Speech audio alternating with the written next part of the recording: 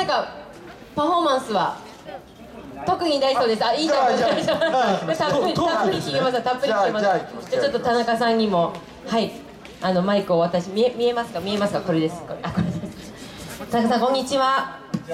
はい。これはあもうちょい前行きましょう。もうちょい前行きましょう。もうちょい前行きましょう。はい。これはどういうえこれ作っまあ、あのこれは私は、えっと、伊豆の伊東から来ました、えー、伊東に住んで、うん。あの能面とか、えーそういう創作の面を作っております。あそうなんだ。じゃあこれも自分でお作りになってる。ああこれ下のやつも。うわ。田中さんが制作されたんですか？これは全部も木です。木です。木ですよね、はい。削りですよね、はい、木を彫刻して、はい。えー彩色してあと、えー、時あのメッキしたり、はい。えー金を塗ったりしてます。あ。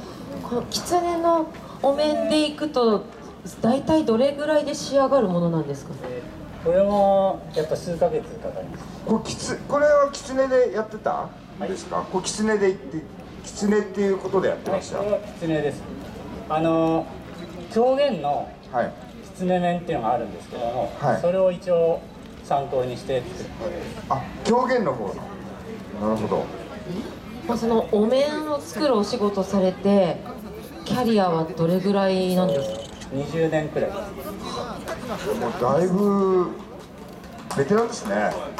もうちょっとマイクの持ち方もベテランっぽいですもんね。なんかスマップ持ち。そうですね。これはえ注文を受けて作られるんですか？あのそういうものもありますけど、これは別に自分で好きに作ったものああ。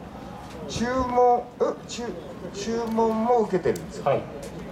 それのなんか田中で検索すればえっとたくさん出てきそうな気がするけど。あの工工房田中っていうことで一応やってます。えっとえっと工作工作の工に工房えっとあ工房田中。田中。あなるほど。伊豆。はい、伊豆の伊東で、えー伊豆高原で工房田中っていうことで。なるほど。わかりました今回初めてのエントリーですか？あなんかこのコンテストあの参加しようと思ったきっかけとかって？あのその面を作ってその20年くらいなんですけど最近っていうかここ数年はこういう自分で作ったお面をつつけて人前に出るっていうこともし始めたんですね。であの今度あと3月に3月16日に、えー、と北北千住で東京芸術センターっていうところでマスク東京マスクフェスティバルっていうのがあります。でそこにもあの展示販売しに行くんですけど、まあ、その宣伝も兼ねて、えー、とこちらにああなるほど。来させて展示販売？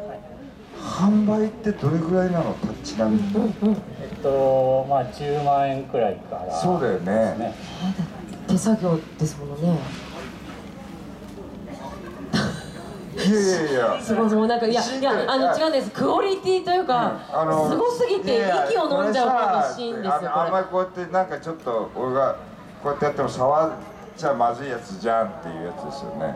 れいやーすごい。あの間近にプロの職人さんのね、ちょっとあのこれはあの後後で間近であのねみんな見ていただいた方がいいかもしあれないですね。能面っていうのもなかなかあの舞台で出てるのは見見るそれもたまにしか見ないだろうしあの間近で見るっていうことがないと思うんですねあんまり、はだからぜひこの場でも近くで見てそうですね。こうあのねあのテクスチャーとかディティールとかがすごく。もうお口の中の牙？歯の、もう細部まですごくリアルなんですよね。動くようになってるはねあのこれちゃんと動くやつですあそうすると中に田中さんが見えそう口の中に口があるんで田中さんが。す口の中の口がよくできてます。それリアルに持って生まれてきたものですからここは面じゃないですからね。はい。じゃあ最後あのひ一言もう一度あの工房の宣伝でもこれからの意気込みでも一言いただけますか田中さん。お面っていうのはなかなかあの人が変身するっていう意味ではすごくいいものだなと思いますで普及どんどん普及すればいいなと思ってこういう場とかあとハロウィンだとかそういうのでもねどんどんあの自分がちょっと違うものになってあの楽しむっていうのはとっても楽しいことだなと思うので、えー、とどんどん普及すればいいなと思います。はいはいありがとうございましありがとうございますありがとうございたました。はい伊豆高原からお越しいただきました田中さんでした、どうもありがとうございました。なんか遠いところから来る人多いです